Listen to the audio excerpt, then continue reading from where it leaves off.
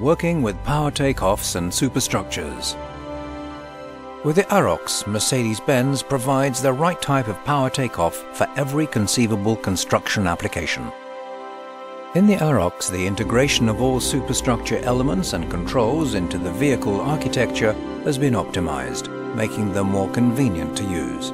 The good body mounting ability of the Arocs is evident, for example in the 50mm end-to-end hole pattern of the frame and in the easy integration of electrical and electronic systems into the superstructure.